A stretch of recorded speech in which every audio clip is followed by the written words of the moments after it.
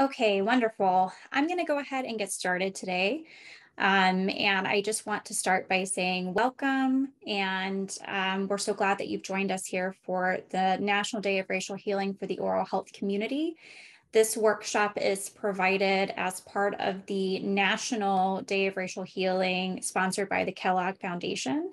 So we are in alignment with the uh, national movement and we encourage everyone here uh, to join the event later today sponsored by Kellogg Foundation.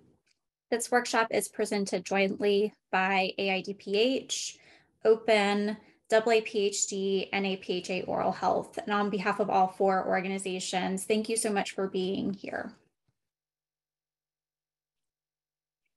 First, there are no conflicts of interest. And because this is offered uh, for CEU credits, we want to make sure everybody had that information. Just a quick bit of housekeeping. Uh, number one, this is meeting format, meaning you can unmute and um, be on camera, but we are asking during the panel presentation um, that you please keep keep your video and audio off. As I mentioned, CEUs are available, and at the end of this session, we'll provide a link for the evaluation and CEU request. This panel discussion will be recorded and we also ask that you provide your personal pronouns to your Zoom name if you're willing and able. You can do that by hovering over your box on Zoom. Um, and to the top right corner, there are three dots that you can press and hit rename and add your personal pronouns. Uh, these are the learning objectives for today, evaluating systemic influences that both facilitate and impede oral health equity, analyzing opportunities to apply policy responses to oral health disparities, explore inroads to racial healing for both personal and professional work within oral health. So we're going to go for about an hour today in this workshop with the first half consisting of a presentation from two panelists. Participants should feel free to use the chat for questions and topics for discussion, recognizing that those will be tackled in the second half with a moderated panel discussion um, and attendees can use the Q&A feature to ask um, panelists directly or use um, the chat to facilitate discussion. And now, without further ado, I'd like to introduce Dr. Eleanor Fleming and Dr. Julie Reynolds. Julie Reynolds is an assistant professor at University of Iowa uh, School of Dentistry, and Eleanor Fleming is the assistant dean for diversity and inclusion at University of Maryland. We will put links to their full bios in the chat if you'd like to explore that. Um, and with, with that, I will turn it over to Eleanor and Julie to start their presentation. Thank you. So thank you, Annalise, for that very warm um, introduction. Um, I'm going to be uh, getting us um, started today with the presentation.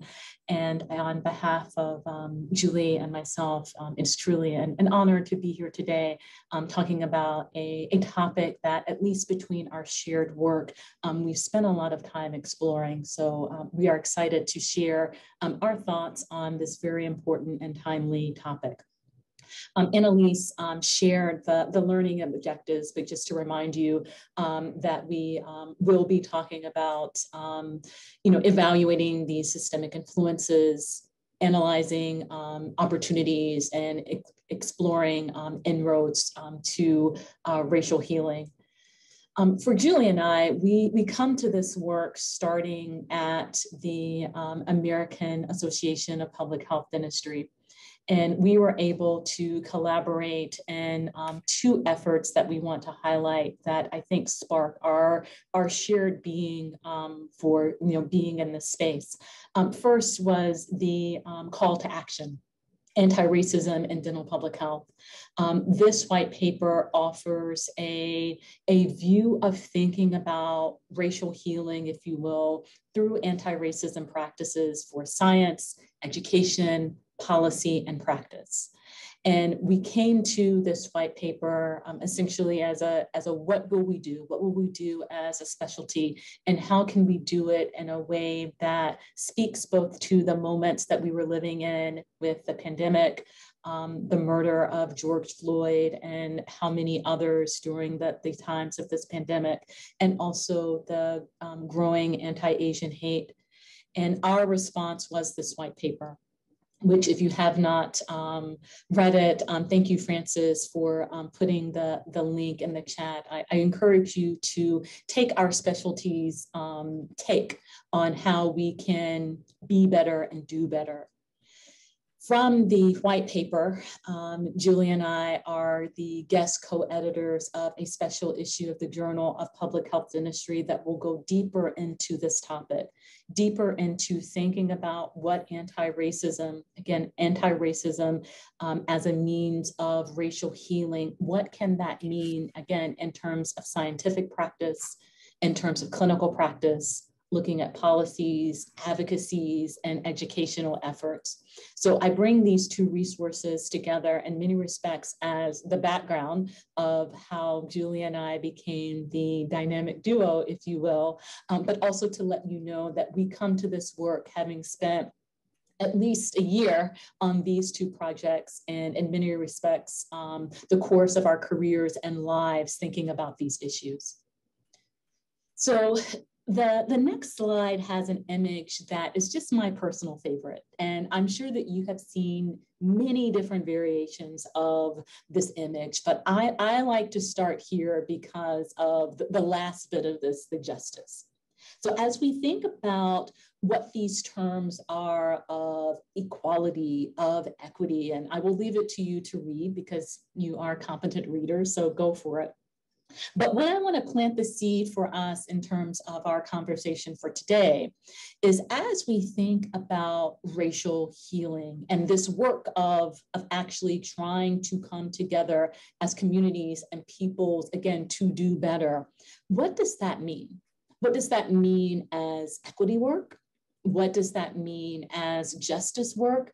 And as we think about the, the systems that are interrelated with racism, and I will leave it to you to, again, pick your um, du jour for, for today, how can we remove the fences? Remove the fences that keep populations from optimal oral health, remove the fences that keep us from collaborating and being um, inclusive in our day-to-day activities wherever you find yourselves. But more importantly, how can we remove the fences in our own relationships? So this is going to be a talk that is in many respects about the practice, the practice that we all do to some degree, but also the work that we may need to do on an individual level to be about the work of justice. Now, I offer this next slide as a way to help us in a very nice visual to think about the fences that are at work. And I should tell you that I'm a huge fan of Fisher and Owens. And when I read this in 2007, I was blown away because I was like, this is it. This is the, the best conceptual model of oral, of oral health to date. But as I reflect back on it, I've taken some liberties, and um, I hope Fisher and Owens um, and uh, her colleagues won't um, come after me for my um, editorial liberties. But I've added the circle of structural oppression, and specifically naming institutionalized racism. And hopefully, at this point in our learning, either during the pandemic or prior, you've done the work to understand how racism operates, how racism operates in where people live, what opportunities people have for education, the types of provider types that are available to them. Um, everything from whether you live in a food swamp or whether there is a pick your favorite um, place to buy um, fresh foods is available. You know, to some degree, these practices, these policies, these histories are centered in structural oppression. So I offer this as, again, a conceptual way to think about oral health and to think about oral health and the different ways that racial healing, a coming together, and acknowledgement of these root problems could potentially be addressed and lead to hopefully better outcomes. Now, given that our topic today is looking specifically at policy, I wanted to share in this slide a different type of conceptual model. Um, a conceptual model that helps us to think about, again, health equity, that in our shared learning today, we're thinking of in terms of justice. I'm offering that as, a, as something for us to try on as an idea. But thinking about where there are these community solutions. And if you have not read um, this work from the National Academies of Science, Engineering, Medicine, um, I encourage you to, to read the report and especially to think about this idea of community-based solutions. Um, when we ever we think about policy, and please indulge me as I put my political sciences hat on, whenever we think about policy and the policy making process, that work doesn't happen in a vacuum. It doesn't just happen in elected um, areas. So not just in your le legislature, not just on your city council, not just at the you know local health department um, meeting, but it happens everywhere. And these solutions must be, in many respects, community centered. And it's in centering the communities, again, thinking about the ways that structural inequalities are operating within all of these different segments, where we can think about improving oral health, for example, through transportation right? So if there is uh, an FQHC or a dental school or some place where people go to receive care and a place where there is functional public transportation, but that place is not on the route for people to get to access care to have a dental home, you know, a policy initiative that might center communities to promote equity, to promote justice, could have a transportation lens. So we've heard this top, this idea, this concept of health in all policies. And this visual to me helps us to think about moving from social determinants of health as defining a problem to going upstream to seeing where we can fix the problem. And finally, this, this leads us to our question.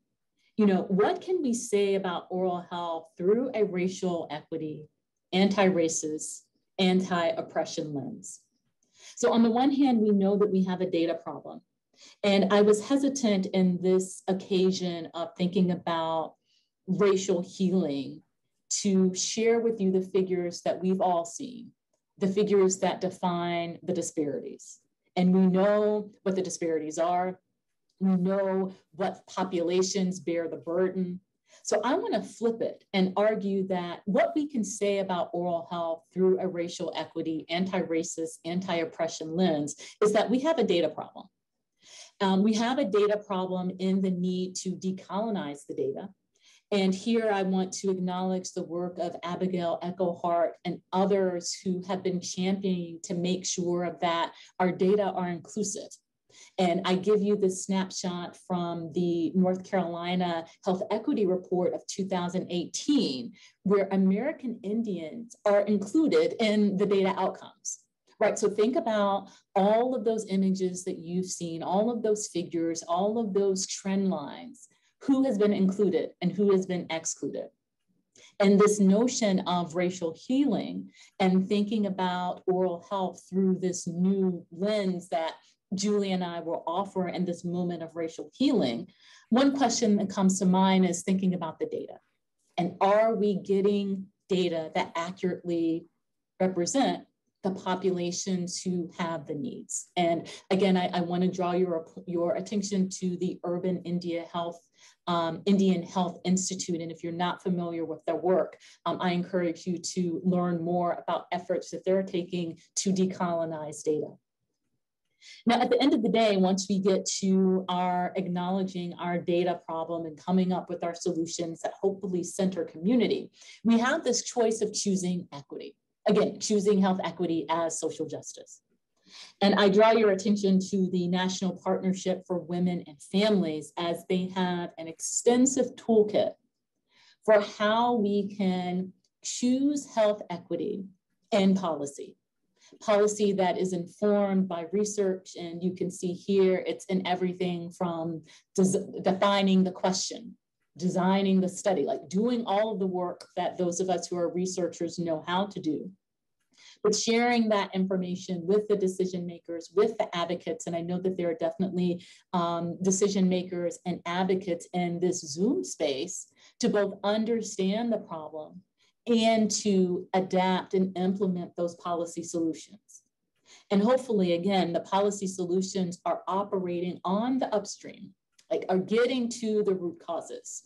And again, in this moment of of a racial healing, of thinking about how we can come together in policy efforts. How does that look like in terms of addressing um, systemic oppression? And with that, I will turn it over to Julie, who will help us to apply policy opportunities to advance equity. Julie?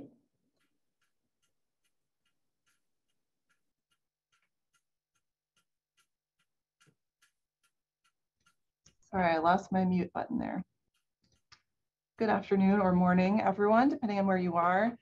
Uh, my name is Julie Reynolds. I had an introduction earlier, but I just want to add to that I am a research fellow at the University of Iowa Public Policy Center. And so I will tackle this second section of this workshop, um, the goal of which is to apply policy opportunities to advance equity.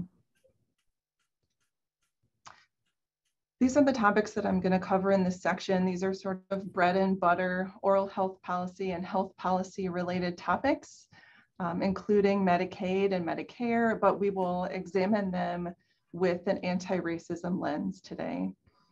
And then I know that many of us are interested in things that we can do in our professional spaces toward anti-racism. So I will also give a very brief discussion on some organizational policies and actions that we can take in our work life toward anti-racism. And so first I want to center us on why we need to talk about Medicaid in this space. Um, one, it is, many of us know that it's a public insurance program for people who have low income or disability. It is a massive program. It um, insures approximately one fifth of the US population. And thirdly, and most importantly for the discussion today, populations of color are more likely to be enrolled in Medicaid. And the anti-racism lens for this is to ask the question, why? And so we need to recognize that the fact that populations of color are overrepresented among Medicaid enrollees is a manifestation of systemic racism. It's the result of past and present racist policies that maintain inequity when it comes to measures of socioeconomic status, like education and employment. And so the fact that we need to focus on Medicaid in a presentation about racial equity means that we have systemic racism and racist policies at work. And remember, to be an anti-racist is to see racial equity, racial inequity as a problem with policy, not with people. So we will examine some policies here that can that contribute to racial inequities in oral health, starting with Medicaid. And so the first thing we need to talk about when we talk about Medicaid, before we talk about dental coverage, is Medicaid expansion. And so very briefly, I know many of us are familiar with this, but before the Affordable Care Act, to be eligible for Medicaid, you had to be both low income and what is called categorically eligible, meaning you are a parent, a pregnant person, a child, or an older adult or a person with disability. And so what that meant at the time is that if you were low income and generally childless adult, you were not eligible to enroll in Medicaid. And so what the ACA Medicaid expansion did is extend that umbrella of coverage to all people who were low income, regardless of whether they were in one of these um, previous category, categorical eligibilities. And so as a result of Medicaid expansion, about 15 million people gained coverage um, through the ACA uh, Medicaid expansion policies. You also remember that the Supreme Court ruled that the federal government could not require states to expand their Medicaid programs. And so as a result, we have a number of states that still, as of just this last month, have not adopted Medicaid expansion in their states. There are about 12 states at this time um, that have not done this. And so if you are a person in one of these states and you are low income and not in one of those eligibility categories, you do not have access to, to Medicaid coverage. And so the impact of Medicaid expansion in states that have expanded their programs are Um, one, that they have reduced the rate of uninsurance and um, improved access in their Medicaid enrolled populations. And they have also reduced disparities um, in coverage and access as well. So this figure shows both the uninsured rate among adults and the share of adults avoiding medical care due to cost. So you can see a couple of things happening. One is a general reduction in the rate of uninsurance and also a narrowing of that racial disparity too. Uh, much more so in expansion states, there was some reduction in uninsurance in non-expansion states, primarily because of the woodwork effect, people who were previously eligible for Medicaid but might not have realized that they were. Um, but you don't see that same degree of narrowing of the racial disparity in coverage or access in states that did not expand their Medicaid programs. You will also notice that even though racial disparities were reduced, they still persist uh, post Medicaid expansion in states that did uh, choose to expand their Medicaid program. So there's still work to be done. Hey, Julie. Sorry about that. Uh, it's stiff, it's sore, but I can move it and but well, it's please better. So don't forget to mute yourself if you're not muted. Emergency. I don't know if our hosts can um, mute folks, but thank you. Um, so if we look more closely at the states that did not expand Medicaid, most of them have disproportionately higher populations of color than the states that did expand their Medicaid program. So this figure shows the proportion of the population that is Black, and it shows that non-expansion states are more likely to have larger Black populations uh, than states that did expand Medicaid. This is shown a different way. This figure shows the racial makeup of the non-expansion states, and it shows that most of them have half or more of their population that are people of color. And so what that means is that Medicaid expansion is anti-racist policy and that the lack of Medicaid expansion in these states is racist policymaking because it disproportionately affects populations of color. So now let's talk about public dental coverage.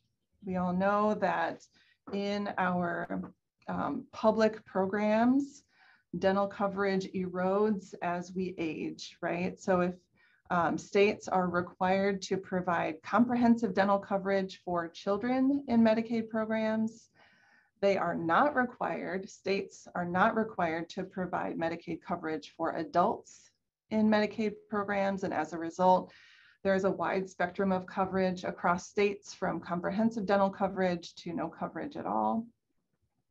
And in our National Health Insurance Program for older adults, Medicare, there is no dental coverage at all, virtually no dental coverage uh, in the core Medicare program. And so we see this erosion of coverage and essentially the value placed on oral health as we age, which doesn't make sense because good oral health is just as important for a 70 year old as it is for a seven year old. And yet our public benefit dental benefit policies don't reflect that. So this is the current status of uh, Medicaid dental coverage. This is from an ADA Health Policy Institute report. Um, and so you can see that the degree of Medicaid adult dental benefits ranges from extensive in these green states, limited in these blue states, uh, orange states show the emergency only benefits and the states that are gray have no dental benefits at all. And so there are approximately 12 states that have either emergency only or no dental coverage for adults in Medicaid. And so if we look at the overlap between states that um, expanded their Medicaid programs and states that provide um, greater levels of benefits for Medicaid enrolled adults, um, you can see that there's sort of there's a lot of overlap here, right? So states that did not expand Medicaid are also more likely not to provide dental benefits for adults. And as a result of Medicaid expansion in these blue states, about 10 million adults gained dental coverage through Medicaid expansion. And so we can see the combined effect of these two um, different types of policies in this really nice study that came out in Health Affairs last month. It was by some colleagues of mine here at the University of Iowa. They examined the combined effect of Medicaid expansion and the provision of Medicaid adult dental benefits on racial inequities. And so this figure is showing the rates of dental visits. So this any dental visit, preventive and a treatment visit, and disparity, racial disparities in those, both before and after the ACA. And this particular figure is showing just the states with extensive dental benefits, which saw a pretty pronounced reduction in that disparity across whether it's any dental visit in the last year, a preventive visit, or a treatment visit. And those the reduction in that disparity was not evident in states with limited dental benefits or no dental benefits at all. And I do also want to point out the scale here. So even though there was a reduction in the disparity, this is still only less than 30% of low income adults who received a dental visit in the last year. And so that even though um, it's something to be celebrated that racial disparities were reduced, they still exist, they were not eliminated, and the utilization levels are still extremely low for uh, low income adults in this age group. And so the take home messages for Medicaid adult dental policy is that providing extensive Medicaid adult dental benefits is anti-racist oral health policy. And also, um, we know based on the persistent racial disparities that we can see despite the progress toward racial equity in coverage and access, disparities still persist, even in expansion states that have extensive adult dental coverage. Um, so there are a lot of other factors, of course, besides just providing coverage that impact the ability to access dental care and ultimately uh, oral health outcomes. A much more mundane topic than coverage, but still very important, is the ability to measure racial equity. And so if we want to hold state Medicaid programs and other organizations accountable for racial equity, they need to be able to measure that. And so I would like to just share this really nice resource from Families USA to help give some ideas about advocacy opportunities, uh, in particular in this case for um, state Medicaid programs to be able to measure and improve the quality of care and reduce disparities. And so I'll just highlight a couple of examples here.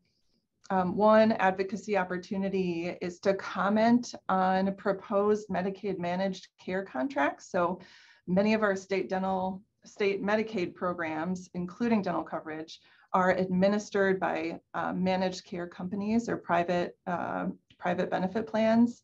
And so there are often opportunities to make public comment about the uh, making sure that those contracts address data collection and performance improvement projects on equity.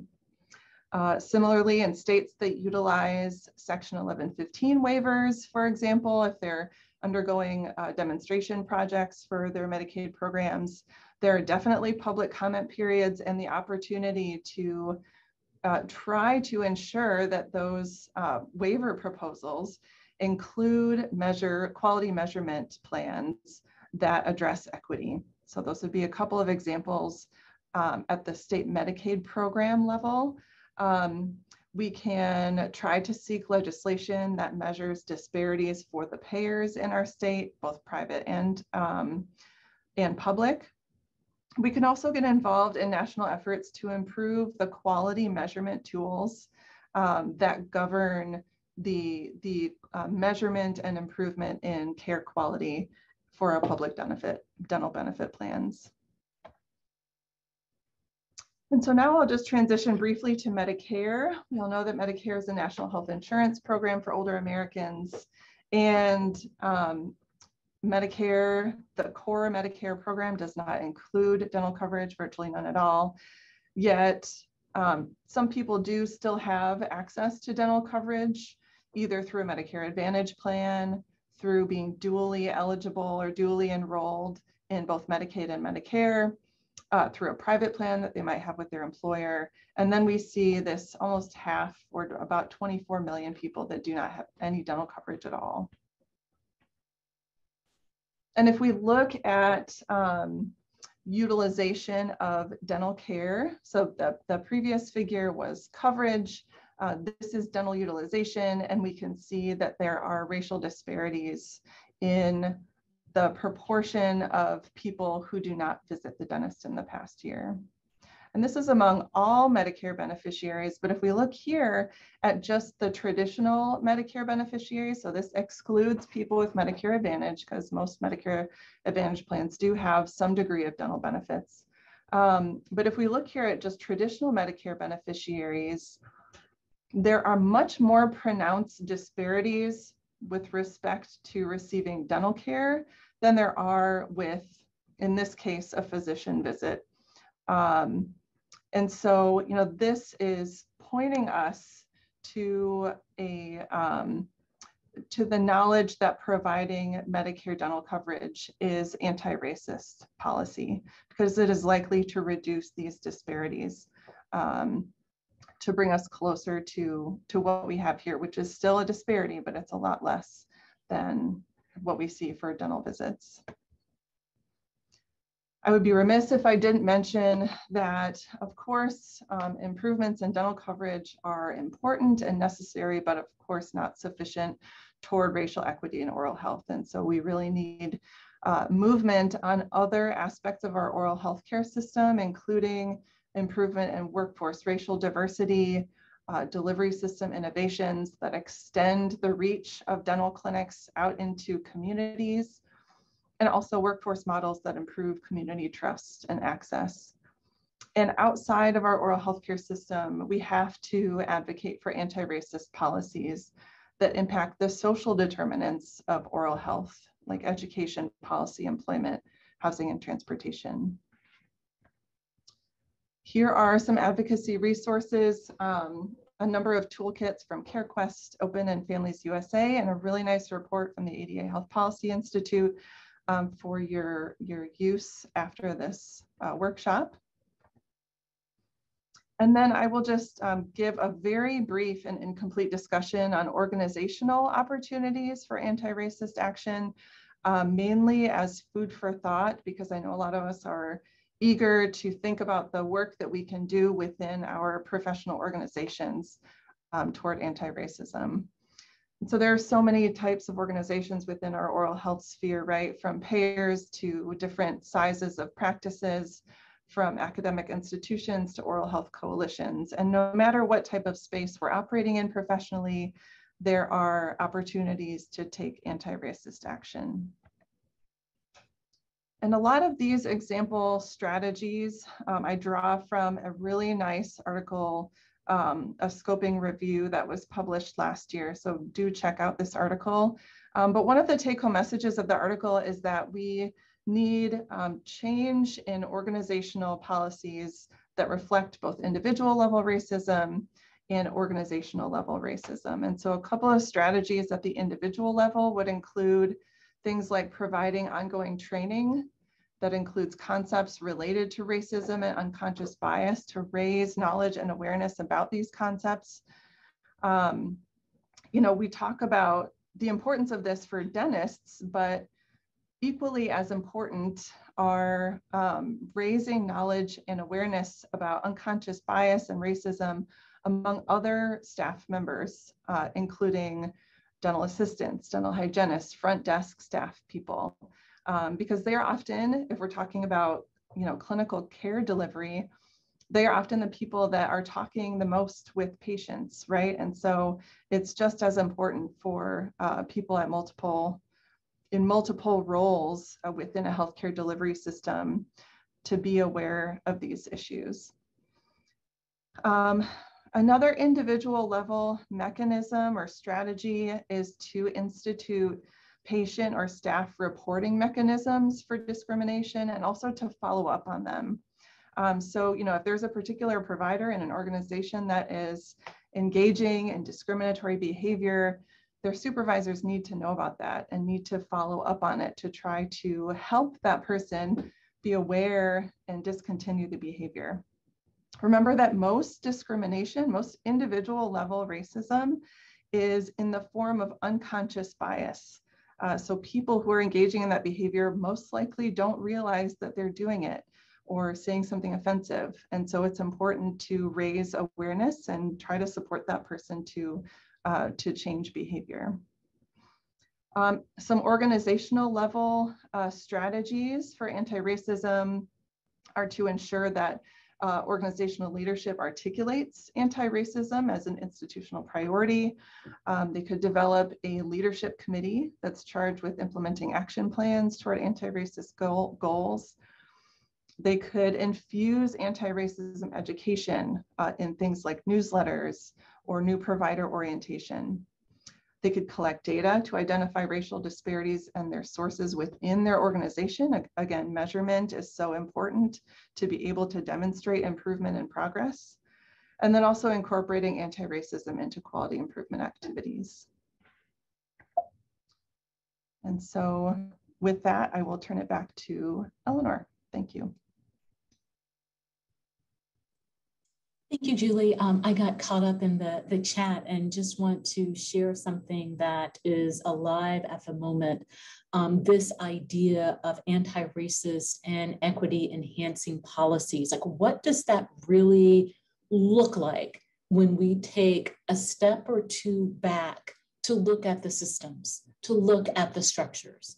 And I think what Julie has done very um, skillfully is help us to think about Medicaid expansion, dental benefits and Medicare, like these large structural policies, public insurance, and how using an anti-racist equity enhancing lens what work can be done as we you know think about what this slide is suggesting inroads to racial healing so as we as we consider what this means for us in terms of personal and professional work, you know, I invite us all to think about how you can bring an equity lens to your work. Now, I won't begin to um, list all of the various roles, all of the activities that we have um, on our individual and collective plates, but I can guarantee you at a minimum, if you look in a room if you look at whoever is in the, the Zoom, Teams, WebEx, whatever you're using at this moment for virtual meetings or in person, and if you notice that there are people who are missing, how can you use your power, your privilege to invite individuals to the space? You know, who are the partners who you work with? Right? We all have our list of, of usual suspects. I would, I would say right now in this space that AIDPH, AAPHD, Open, the American Public Health Association oral health section, like these are CareQuest Institute, like these are some of the big players in this space. But what would it look like if, I don't know, an invitation was sent to the Society of American Indian Dentists? To the National Dental Association, to the Hispanic Dental Association. And I'm, and I'm picking those a bit at random, but on purpose. But how can we reimagine who our partners could be and who could lend some voice that is missing at the table? There's also this idea on the next slide of how are we sharing power? Right? We, we can't think about this work of policy advocacy, policy development, any of these work without saying that at, at the basis is power. There is a power dynamic that some people have and some people do not have. But are we willing to share power? Are we willing to share power to be an ally to others, with others? Are we willing to share power, meaning that sometimes you may need to sit down and be quiet so that someone else's voice and perspective could be elevated? The big one for me is how are we creating opportunities for others? Right? This idea of racial healing, of anti racist practice, of creating better policies, better organizations, better institutions, better dental homes, in many respects is about creating opportunities. So when, where, and how can you do that? Now, this is a this is a biggie for me, and again, I, I kind of I kind of played my cards up front. But in our work, are we just perpetuating disparities?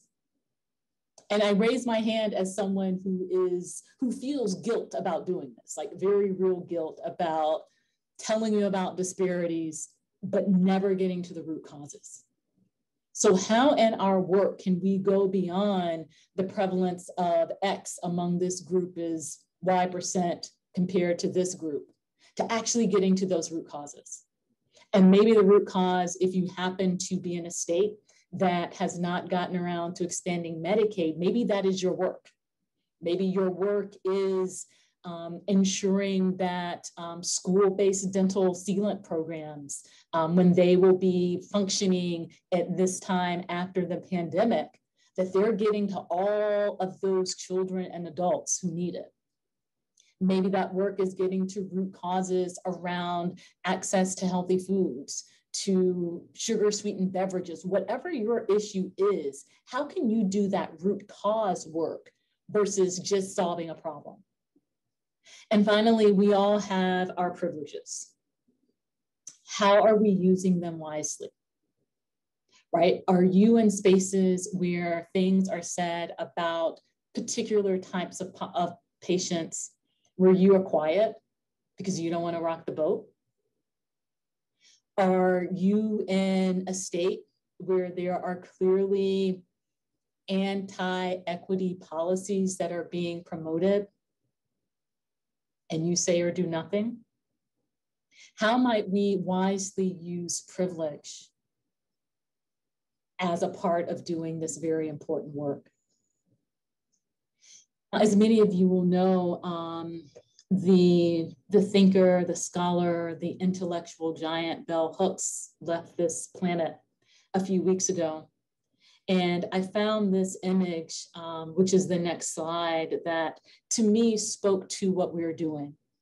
Now, if you've read anything about Bell Hooks, you know that she is a, a Black anti oppression scholar. Some would call her feminist, but I feel like that's just too small of a box for her. And her work um, in many of her pieces focuses on this idea of love and healing in a very real sense. So, not in the sense that you may love your partner or may love your pet or, or love whomever, however you love, but this idea of that um, agape love, if we think about um, Reverend Dr. Martin Luther King Jr. and kind of social movements around civil rights. And this idea that rarely, if ever, are any of us healed in isolation. Healing is an act of communion. Healing is an act of communion.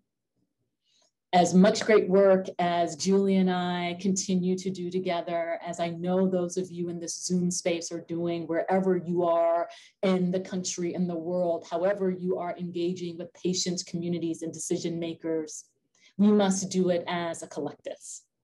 And hopefully, in our efforts, we will make real this call to action that the late Bell Hooks is telling us to heal as an act of communion. Um, Julie and I would be remiss as professors if we didn't give you some some reading assignments. So the next the next slide has your um, additional readings if you want to expand your um, knowledge base. Um, but I do hope that we have offered something in our time together um, that will help us to take those steps and to continue to make, take those steps towards racial healing. And with that, we say thank you. And I will take a look to see what is alive in the chat in terms of questions. So thank you.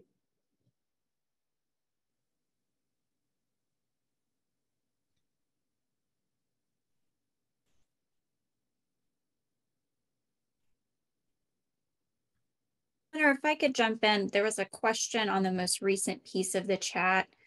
Um, and it was it was from Tara. And if Tara, if you would like to unmute, you can, or if not, I can repeat your question in the chat. But feel free to unmute if you'd like to ask it live. Okay, Tara cannot unmute. Uh, so Tara asks, does anyone know of any organizations or resources that are specifically targeted for advocates in very conservative environments? The level of opposition to even the tiniest amount of progress is an incredible obstacle. Where do we start with so much hostility? No, Tara, I think that that is a very fair question as someone who um, had to leave home because um, my ideas made me dangerous, right? My, my, my ideas were very threatening to the status quo. Um, and what I found in the home of Moms for Liberty is that um, there were community members who were organizing in a very conservative environment. So I encourage you to start where you are and to see who is doing the work. And maybe it's a group that you plug into in social media, but know that there is, in many respects, safety in numbers, unless you're like me and you're like, peace out, I will just take my progressive ideas um, someplace else. Um, another group where I'm not sure if you have um, connected with, and I'm, I'm gonna botch it, but um, Google and look at the work of uh, Reverend uh, Dr. Barber and the Poor People's Campaign. And I bring this up because it is a group that works in very politically conservative environments around anti-poverty. And they have a lot of resources in terms of how you organize, um, language that you use, and it's also important to note, again, that some of these things just may not be possible. I think it was Paula who raised the question in the chat of, you know, what do we do um, in states where, you know, um, everyone is flocking to the South due to low tax rates.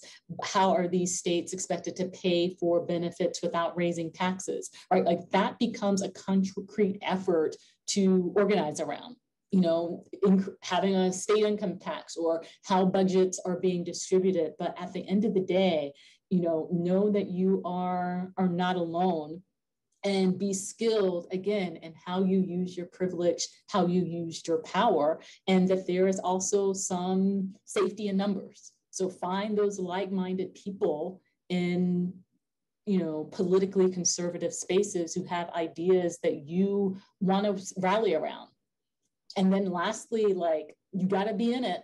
Like you got to get in the game. So maybe you run for school board. Maybe you run for, you know, an appointment to the public health board. Like you have to be out there. You, you have to be in the, the arena.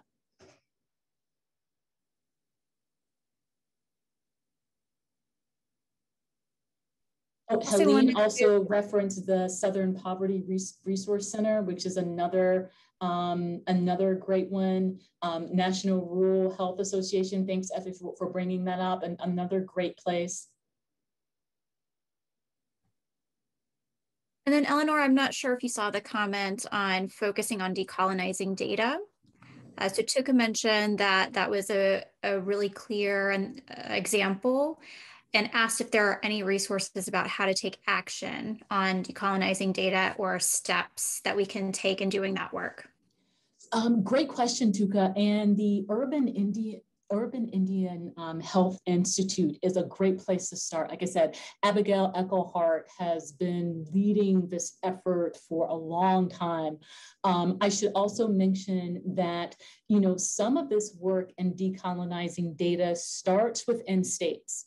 Um, so one of the things that North Carolina has done during the pandemic is making sure that their COVID data were broken down in categories of people so that they could better see the inequities. So I think one, one step you can take is going to your state health department, seeing how data are presented.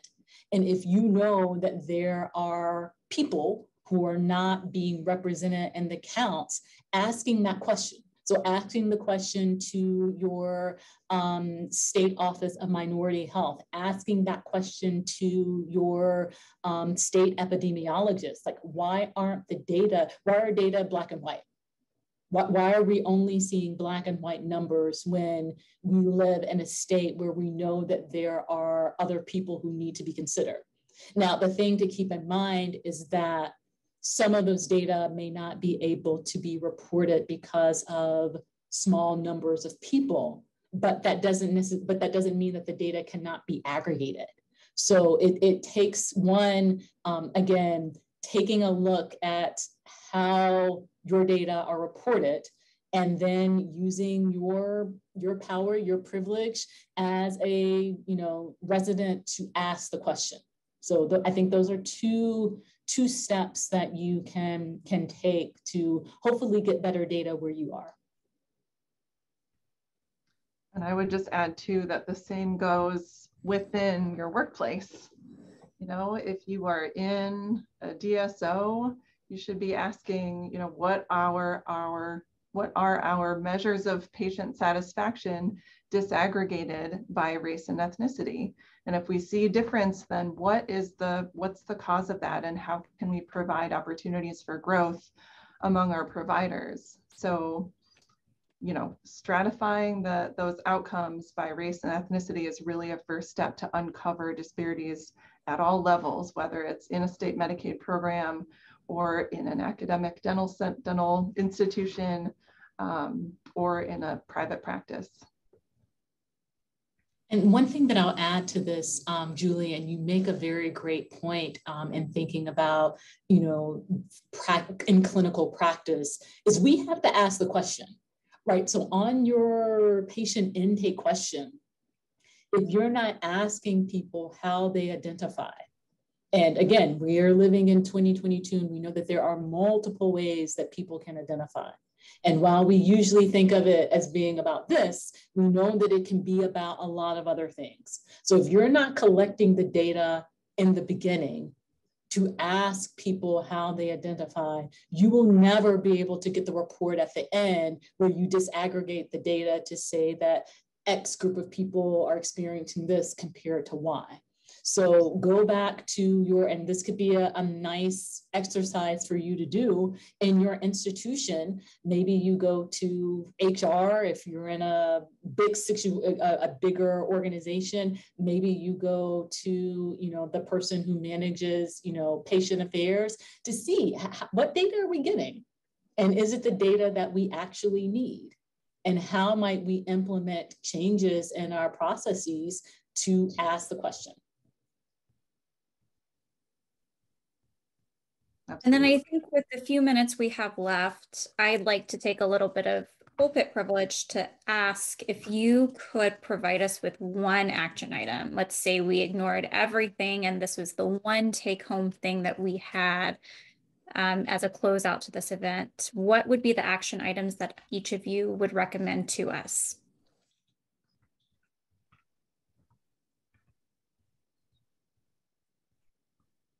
I can start with starting with yourself and your own knowledge and awareness about anti-racism and unconscious bias. Um, so you feel empowered to bring that topic to your organizations and to your friends and loved ones and professional networks. Um, you know, enhance your own knowledge and awareness space first so that you can then spread that? I'm going to give you two only because I feel like I'm upping the ante and I think that this group is ready for it. So the first one is notice the spaces where you're in, who is there and who is not there, and consider who you can invite to be at the table. And the second one is if you are a member of a dominant group, however we are defining dominant these days. Consider a membership in a group of someone that is potentially historically marginalized. Now that's going that, that's going to cost you some money because you're actually going to have to pay for a membership. But consider what it would be like to bring your folding chair to their table right? And just to listen and learn. And I'm not saying that you have to do anything other than your presence I hope that you'll do what Julie is suggesting in terms of learning, but what would that look like for you? And you can you can pick the group, right? You, I'm, I'm not necessarily saying that everyone needs to join SED or that everyone needs to join the NAACP or again, whatever the organization is, but consider taking your dollars and your curiosity to be a member. Pay attention to what you learn, and hopefully, in that learning, you can find practices that can be done wherever you are in the classroom, at the hiring table, in your clinic, in your professional organization. So, yeah, that I will. I'm, I'm going to give you two two things um, as action steps.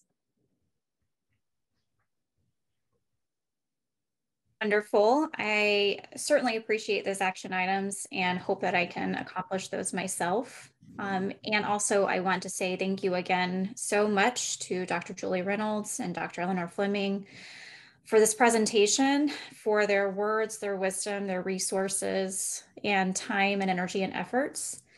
Um, so we will record this. We have been recording it. We will make it publicly available. If you would like CE credit for the event, there is a link in the chat. Otherwise, I would encourage anyone who would like to, to interact with um, Dr. Reynolds and Dr. Fleming uh, individually. I'm sure they'll provide that opportunity. Um, and if so, you can put, put yourself in contact with us at AIDPH and we're happy to sh share out their emails individually for anybody who has follow-up.